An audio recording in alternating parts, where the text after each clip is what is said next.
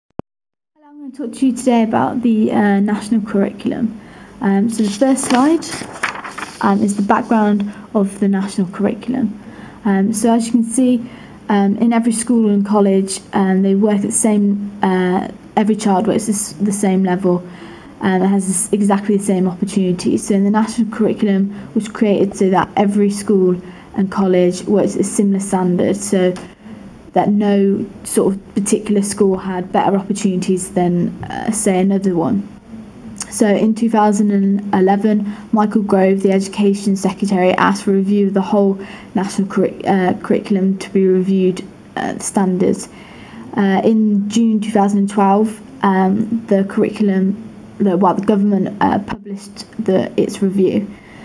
Um, so in 2009, Britain was ranked the, uh, the 19th in the world for the reading um, and maths for 15 year old uh, 15 year olds. So because every school um, is given each child and young adult exactly the same opportunities, um, this this means that when these people go into the um, into sort of working careers they've got exactly the same um, hopefully same qualifications or they've got exactly the same amount of GCSEs and also when they go on from college or um, from sort of A levels they've got exactly the same sort of um, qualifications which can then lead them on to permanent jobs. So after doing the review in 2012 they went on to change na national curriculum Um, they changed the key areas um, and trying to improve performance nationally. Um, so this was obviously because um, China was ranked um, a higher uh, standard for reading at the 15, uh, 15 year olds. Um, so Britain wanted to obviously review it so that they can become at the same standard. So the second PowerPoint, the aims and objectives of the national curriculum. So the national curriculum provides pupils with an introduction to the essential knowledge they need to be educated citizens.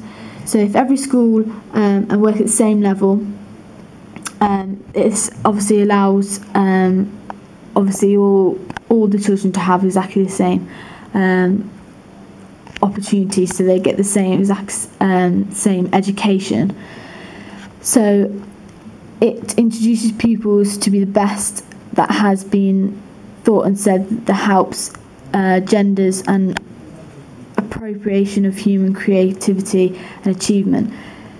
So this allows obviously all the children to be given um, high education as well, uh, leading on to better jobs.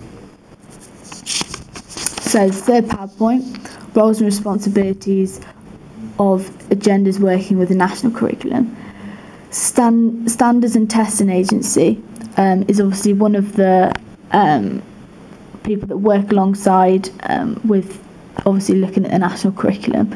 The Standards and Testing Agency are responsible for the development and delivery of all statutory assessments from early years to the end of Key Stage 3.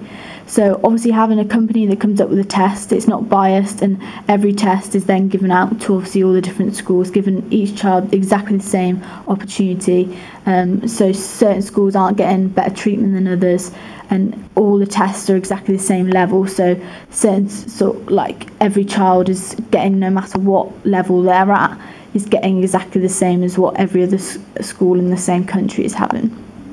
The National College for Teaching and Leadership. So on the 1st of April 2013, the National College for School Leadership merged with the Teaching Agency to become the National College for Teaching. The agency has got two main aims. So again, this one works very similar along the same lines, but works for college um, standards as well. So this is exactly given exactly the same um, opportunity um, as the um, standard testing agency. So their aims um, for the standing test uh, testing agencies are ensuring that agency confirms the departmental with and governing policy, making sure that agency are having good financial management, taking responsibility for oversighting of the standards and testing agency, and to li- uh, line managing the chief executive. So they're always making sure um, that there's always they've they've got the right financial needs as well, so they never go um, over what they need to spend, and also that they um, obviously don't get go bankrupt as well they're also making sure, obviously, the same for making sure that they're um, all the they're working alongside with the government, making sure that the government is aware of what they're doing, but also if the government uh, change anything, obviously the standard testing agency are also aware. So the aims for the National College for Teaching and Leadership aims are um, improving the quality of the workplace and helping schools to um, help each other to improve. It works with schools to develop an education system. Um, this means the teacher and the lead, leadership training continue professional development.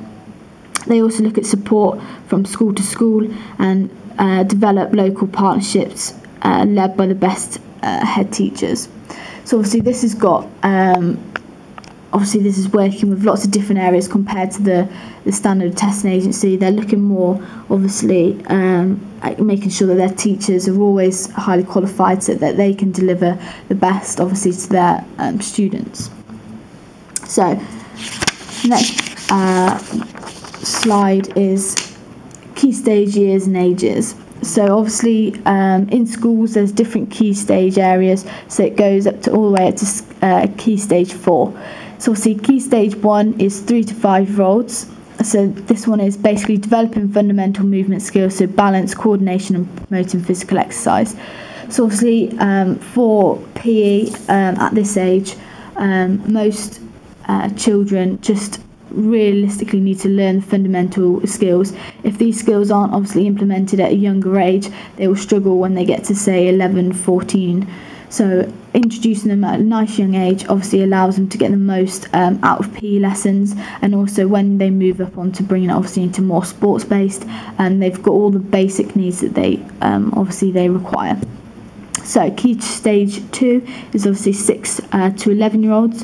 So it's applying and develop um, a broad range of skills. So obviously looking at those fundamental skills again, but linking them into actions and sequences movement. So obviously, for instance, running and jumping in sequence obviously, again, this is fundamental as well. This requires um, all children should be able to do this. And again, they not only need this um, for um, just physical education, they also need it for things like basic um, health related things as well. So, obviously, when they get older, they need it for obviously making sure that they can um, use this if they want a, healthy lifestyle. So by able to run and things like that, that is keeping the whole movement going.